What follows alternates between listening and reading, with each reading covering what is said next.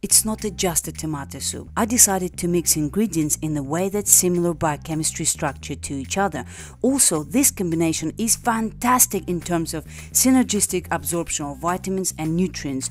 Your taste buds receptor will thank you for it and your brain responds to be quicker, fuller for longer and satisfy your ghrelin and leptin hormone will be awesome. So this soup is just brilliant for the ingredients and how to make this soup all in the description below.